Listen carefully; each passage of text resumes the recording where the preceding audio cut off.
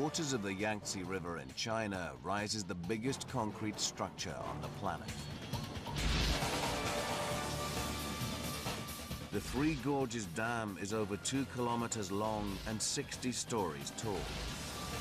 It has taken 40,000 workers over 17 years to build. When it fully comes online, this one dam will produce over 20,000 megawatts of power, twice as much as all the nuclear power stations in Britain put together. It is the pinnacle of dam engineering.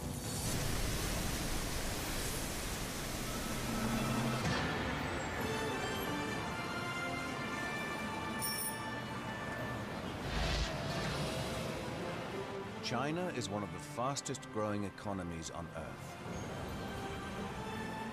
Fuel the need of its ever accelerating industry, the nation needs more power.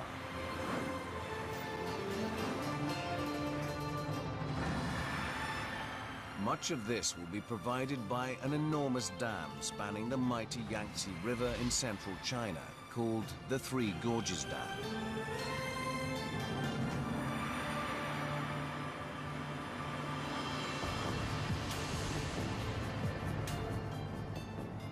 Our cameras have been granted privileged access to capture this amazing feat of engineering in its full glory.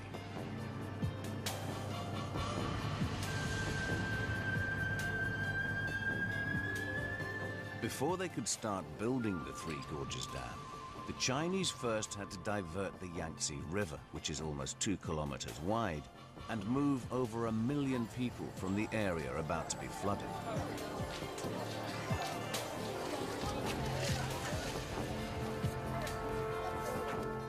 And when they filled the reservoir behind the dam, the huge mass of water actually slowed down the speed of the Earth's rotation by a fraction.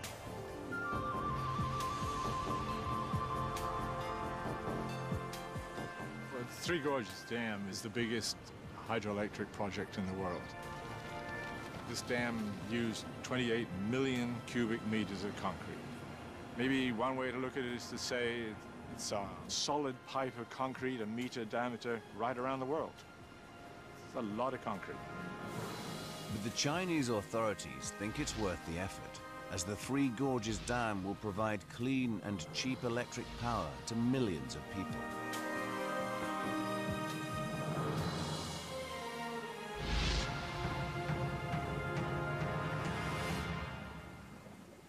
British engineer Robin Charlwood has been working on the dam since 2003 and is still impressed by its scale.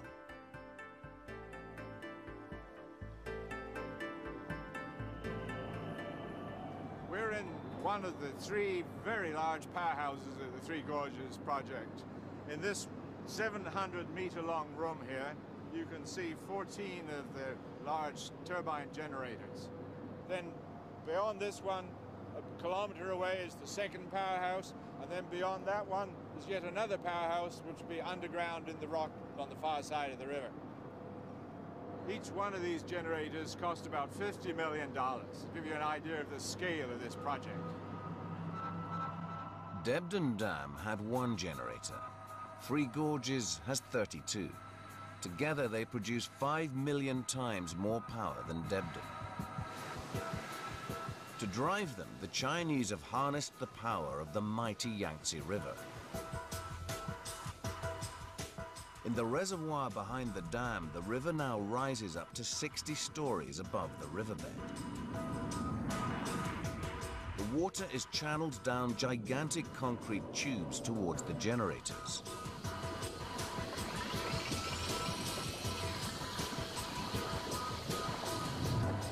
Here, the torrent of water hits the turbines and makes them spin. This motion is in turn transferred to the rotor of the generator. This is fitted with massive magnets, which move past copper coils in the casing to generate electricity. Just one of these machines makes as much electricity as a small nuclear power plant. All 32 generators together produce enough power for 60 million Chinese.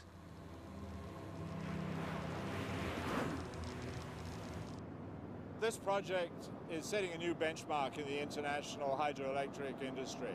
It's almost twice the size of the next largest project, Itaipu in Brazil. And of course, it's only the first of a whole series of megadams that are under construction here in China. The Yangtze River is over 6,000 kilometers long and in places several kilometers wide, the biggest river in China. It presents enormous logistical challenges to the dam engineers. As the Yangtze rises behind the Three Gorges Dam, it will flood over 150,000 acres of land along its banks. So the Chinese have to relocate over a million people from the land behind the dam. Thousands of new houses have to be built for the displaced citizens to live in. Then the engineers can begin to dam the river. We're standing here among some of the rocks and these precast concrete blocks that were used to create the cofferdams to control the river during the construction of the Three Gorges project controlling the river to allow the construction of this huge project was clearly a major undertaking. I mean, the Yangtze River is one of the largest rivers in the world, very fast, very deep. So building these cofferdams and to allow a safe construction was a major operation. The Chinese claimed that this was the largest and most difficult diversion ever undertaken for a hydroelectric project. And you look at the scale of it, they were absolutely right. This was huge.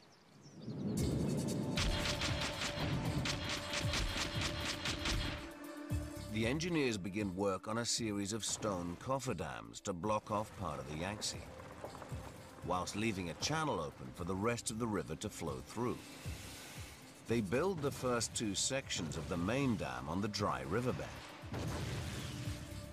Then they dump tons of earth into the river, and on top of it build another cofferdam, this time from concrete. With the river held in check behind it, they can finally build the last section of the dam. Then they must remove the cofferdam so that water can flow through the turbines of the main dam.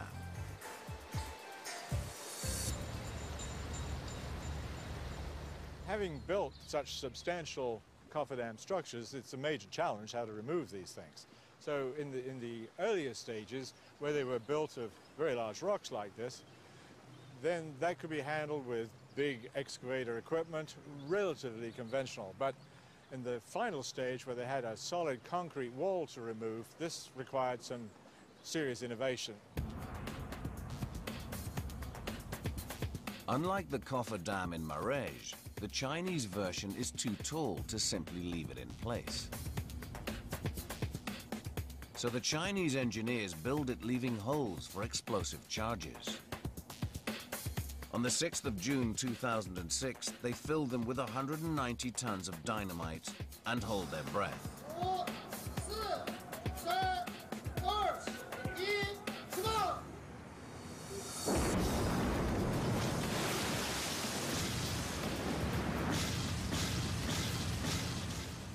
Has taken months to build takes only seconds to destroy. As the cofferdam crumbles, it unleashes the water stored behind it.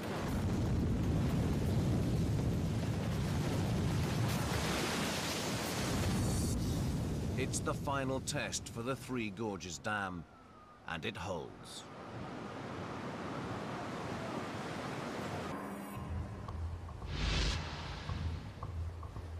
The Three Gorges Dam takes concrete construction to new heights. You look at it, you can just picture the thickness of the concrete at the base of the dam, the height of it, 180 meters, and it's two kilometers long. So it's a colossal amount of concrete. Three Gorges uses 10 times more concrete than the Hoover Dam, so the engineers have to pull out all the stops to keep their dam cool. They basically used everything in the book. They cooled the aggregates and the materials, the sands, before they put it into the mix. They added ice. They did everything they could to get the temperature down as low as they could before it started to warm up all by itself. And here, because of the issue of some of the summer weather being especially hot, July and August, they actually went so far as to use a fog spray system to blow effectively a fog blanket over the top of the dam with the objective of blocking the solar radiation from piling down into the concrete and adding to the heat that was being generated on the inside. But all these measures to stop concrete from cracking will count for nothing if the dam is built on weak foundations, as civil engineer Ed McCann explains. While we can make the dam completely impermeable, it's rather harder for us to make the riverbed impermeable. Now, of course, once the water is up behind the dam here, there's a huge pressure pushing it this way. And whilst the dam won't let the water through, the water simply just goes underneath, and that means you haven't got much of a dam. There is a solution to this, and we'll, uh, if John will give me a hand, we'll have a look at it. John, blocks, please. What you've got here is basically a pipe network. These are a series of vertical pipes that go down into the riverbed with little holes in the side of them. And we connect them up to a high pressure pump. Of course, it wouldn't be this, but it would be a big pump. In this pump, what we've got is um, a watery grout. It's just cement and water and when that cement and the grout goes hard, it creates an impermeable barrier. Just this time it's in the soil. So we'll have a go. Here's our high pressure pump. So if I squeeze that really hard, there we are. And pretty much straight away you can see the grout coming out and running through the soil and spreading out, which is exactly what we want to see, of course. And you can see in some areas it goes a long way, and in other areas it doesn't get through. That means that the soil is denser and less permeable there. But that's fine because what you do is you drill more holes down into the areas here and you squirt more grout in and you basically you keep going until you've got a continuous curtain underneath the dam. And there we are. So we have our impermeable dam on top of the riverbed and we've created a concrete dam underneath the riverbed.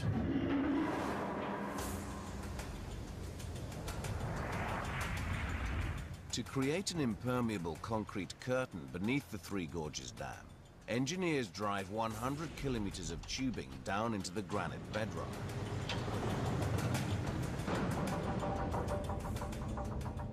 Then they pump 200,000 cubic meters of grout into the tubes, which is squeezed into the fissures in the rock. As the grout hardens, it turns the leaky rock into a solid waterproof base for their dam.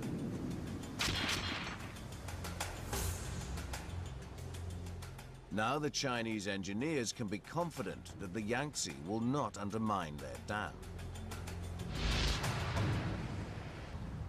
Basically, the dam holds back a large volume of the water during the flood period. Here it can hold back about 22 billion cubic meters of water. And then it's released in a controlled way through this system of 46 spillway gates and these chutes that you can see below me here. The design of a spillway like this has to deal with the force of the water as it drops over 100 meters in this case here and then achieves huge velocity at the bottom of the dam. To deflect the force of the water crashing down, the Chinese use technology similar to the Grand Coulee. As the water levels rise, engineers open a series of gates to drain the floodwater from the reservoir. But if the water fell straight down, it could undermine the foundations of the dam. So the engineers fit the spillway with concrete chutes. Unlike the Grand Coulee ramp, which is underwater, the Three Gorges chutes hurl the water into the air. Once airborne, the water breaks up into small droplets and loses much of its destructive energy. It lands over 100 meters downstream, where it can't do any damage. So now when they open their spillway gates, the Chinese have nothing to worry about.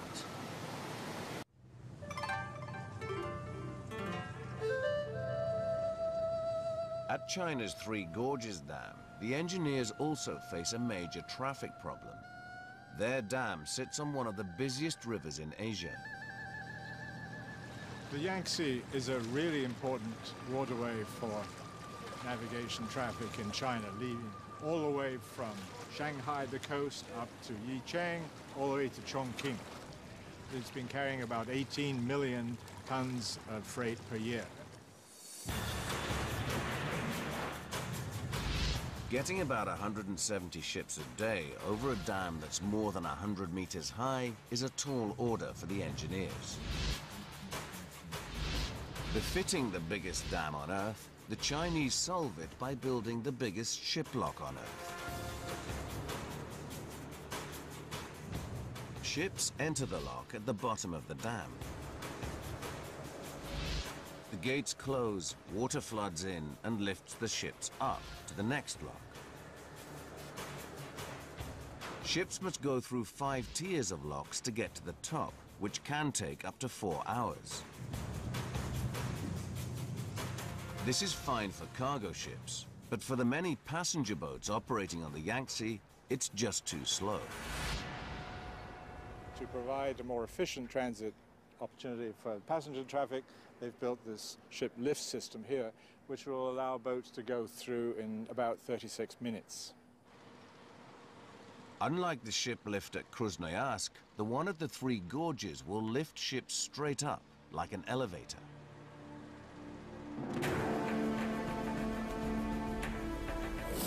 And the secret of its success will lie hidden in its concrete walls. The engineers will fit a series of massive counterweights that will do most of the lifting.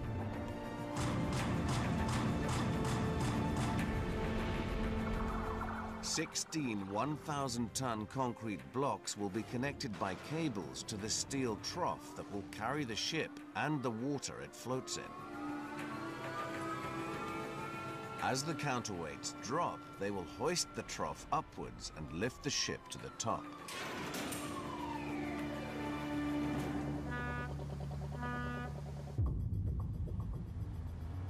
This ship lift here is 113 meters high and can handle vessels up to 3,000 tons. It'll make it the largest in the world and twice the size of the one at Krasnoyarsk. Certainly when you look at the structure now, it's got a ways to go in terms of construction. It won't be finished till 2015, but it's, it's clearly huge. and It's a, another very impressive achievement underway here. The Three Gorges Dam produces more power than any other. But that's not the main reason it was built. The Yangtze River is notorious for its really severe flooding. Over the last 2,000 years, there's been about one major flood every 10 years. In 1931, there was a really bad one, killed about 135,000 people, destroyed almost 2 million homes. And so th this is the main reason why they've built the Three Gorges Dam, is to control this terrible flooding problem. The dam blocks the path of the destructive floodwater. The water is stored in its reservoir and is then released in a controlled way.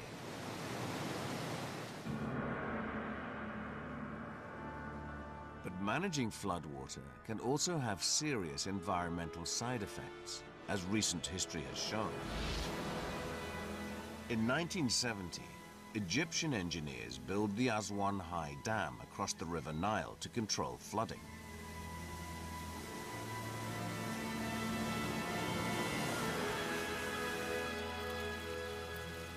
But soon, farmers downstream noticed that their harvests are beginning to fail. Their soil becomes so barren that the farmers need millions of tons of fertilizer every year to nourish their crops. Their land has suffered because it has been deprived of floodwater, which carries with it the vital building blocks of life. Chemist Dr. Andrew Shidlow demonstrates. So we have here our clean rainwater which has been falling. We're adding to it some good quality topsoil. We then add some animal excrements. We have some snail shells, essentially made of calcium carbonate. Then we have some uh, dried leaves, plant vegetation here, and of course, fish. As the storm proceeds, as the water starts to flow rapidly, all of these ingredients get mashed up in the hugely violent storm waters which occur.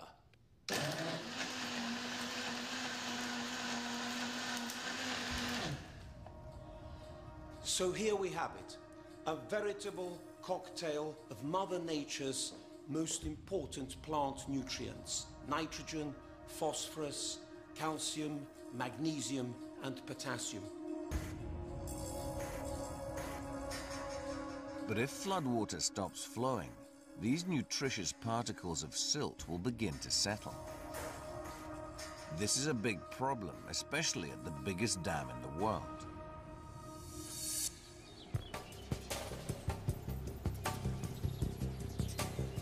The flow of precious Yangtze silt is blocked by the dam and trapped in the slow-moving water of the reservoir. It rapidly sinks to the bottom where it builds up. The silting problem on the Yangtze is a huge problem. The, the total amount coming down is about 500 million tons per year, which equates to about one kilometer cube perhaps enough to fill big sports stadiums hundreds of times. It's a huge amount of silt. If this silt remains trapped behind the dam, it would mean that farmers, fishermen and wildlife would be deprived of nutrients in the water for hundreds of miles downstream. And the tons of settled silt or sediment could build up in the reservoir and threaten the dam itself basically sediment falling into the reservoir here would reduce the, the capacity, the reservoir capacity, and would eventually perhaps interfere with the ability to run the turbines if it was came up that high. Cleverly, the Chinese engineers exploit the power of floodwater to flush the sediment out of the reservoir and send it downstream.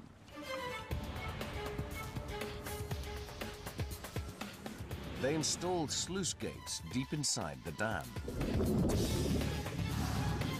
Each gate weighs as much as a bus and needs a powerful hydraulic piston to lift it up.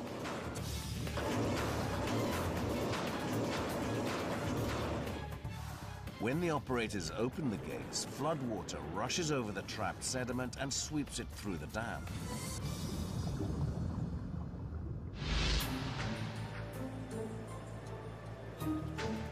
This way, the Chinese authorities hope that it will be at least another 100 years before the buildup of sediment affects power production at the dam.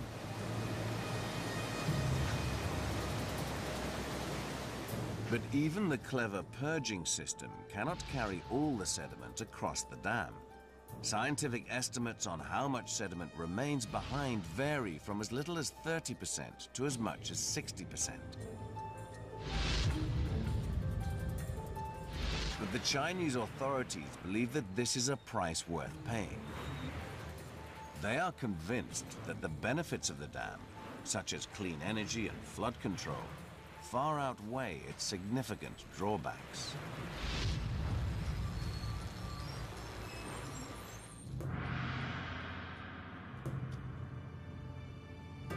As the Three Gorges project draws to completion, its scale is breathtaking.